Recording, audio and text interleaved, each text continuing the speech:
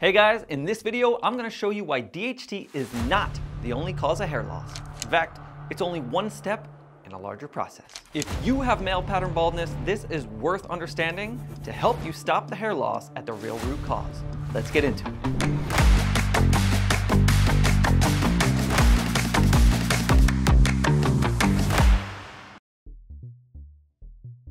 So, you'll often hear people claim that there is only one cause of hair loss, and that's DHT. This may have been defensible position about 30 years ago, but today it's pretty clear that it's not the case. For starters, if the only cause of hair loss was DHT miniaturizing the hair follicles, then blocking it through dutasteride, the most powerful DHT blocker should completely reverse hair loss. But it does not. Up to about 50% of men who take dutasteride will see no noticeable regrowth whatsoever. We also know that balding scalps show extensive changes that take place alongside the hair follicle miniaturization process. It becomes chronically inflamed and hardened, and then the spaces between the follicles become replaced with microscopic scar tissue called fibrosis. The fibrosis gradually grows over the years until, in the end, it takes over the spaces previously occupied by the follicles themselves. Blood circulation to balding scalp is also severely compromised. Compared to men with healthy hair, the blood flow of those with early pattern baldness is up to about 2.6 times lower. These problems with blood flow don't extend to the entire scalp, but only to those areas that are actively balding. What can we make of all this? Well, while DHT is certainly involved in hair loss, it's becoming more and more clear that the correct way to view it is as a key component of a much wider process. Remember the inflammation we talked about earlier? There is compelling evidence that the chronic inflammation in the scalp triggers the overactivation of DHT. And the overactivation of DHT then promotes the activity of signaling molecules that promote fibrosis. Chief among these is transforming growth factor beta 1, also known as TGF beta 1. The combined presence of the overactive DHT and the TGF beta 1 then drives the fibrotic buildup that we see in balding scalps. This, in turn, restricts the space available to the follicles to grow. It also reduces the supply of oxygen and other vital compounds to the scalp's tissue.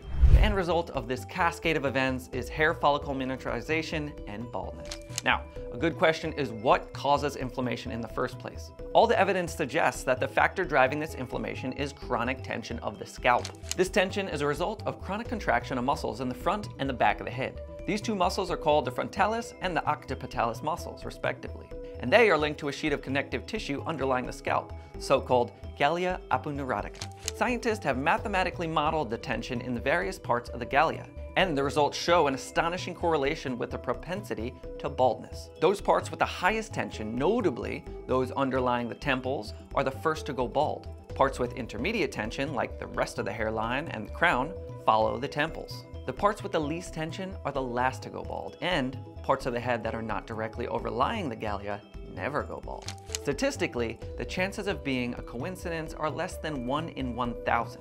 So, relieving this tension would seem like the most effective way to reduce inflammation. The resulting reduction in inflammation would then gradually reverse the fibrosis and eventually achieve a long-lasting increase of blood flow to the scalp. One way to do this is with injections of muscle relaxants to the scalp. The injections paralyze the surrounding muscles, leading them to a prolonged state of relaxation that lasts for months at a time. The result is a relief of chronic scalp tension. Even with one session of these muscle relaxant injections can be enough to freeze the progression of hair loss and induce regrowth. You can see here the results of 24 weeks into the start of the treatment.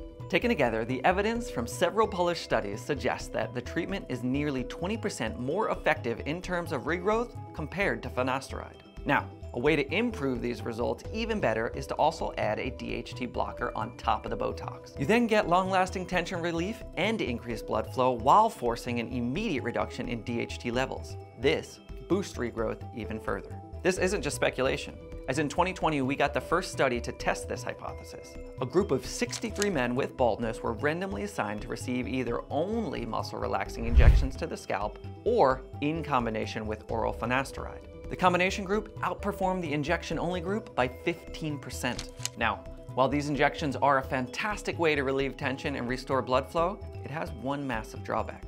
You'll have to get it done at a doctor's office, and the cost will run you up to many thousand dollars a year. So, unless money is not an issue for you, this is not the kind of treatment you can follow long term. An alternative to muscle relaxing injections is massaging your scalp. Just like massage stimulates blood flow to the arms and legs, it has the same effect on the scalp. On average, you will need 36 hours of massage to see results, so definitely not as quick as those injections. Now, if 36 hours of massage sounds a bit intimidating, a practical alternative is a clever new device called the Grow Band. This sits comfortably on your head, and as it inflates and deflates over a cycle that lasts several seconds, it gently massages the entire scalp, meaning you can get much quicker results compared to manual massages where you can only target one spot at a time.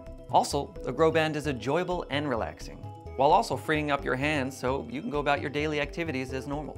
By boosting blood flow and breaking down fibrosis, by boosting blood flow and breaking down fibrosis organically, the Grow Band will strengthen your hair and give long-term gains that no medication can match. All completely free from side effects. The Grow Band really is the only solution on the market that gets to the root cause of male pattern baldness. Remember that chronic inflammation from scalp tension leads to the cascade of biochemical process that eventually causes hair follicle miniaturization.